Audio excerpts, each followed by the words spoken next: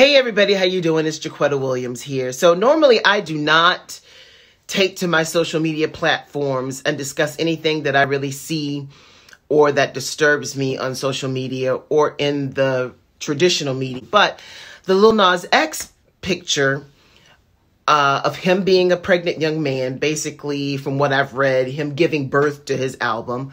And people have been just venomous about what they've seen this young man do. There have been people who have been incredibly supportive of his work, his art.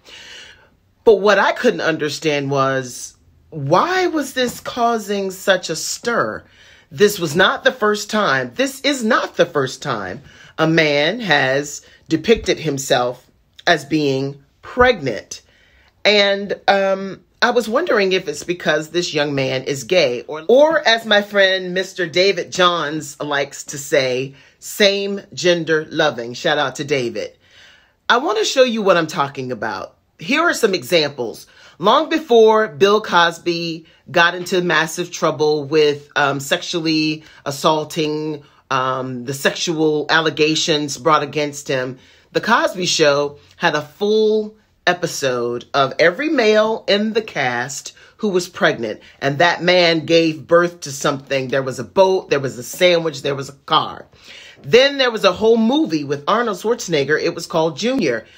In the movie, as well as all of his promotional material, showed this man pregnant. Then, if you recall, back when the Oprah Winfrey show was on, there was an episode, there was a, a, a show that she had about a man giving birth to a baby. So, so I'm asking, what is the issue?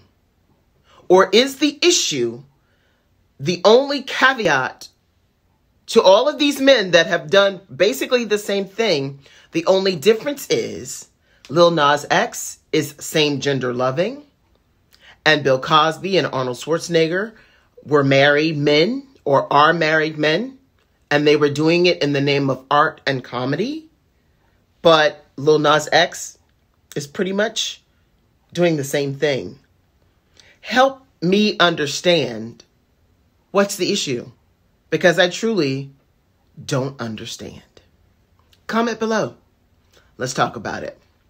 Okay?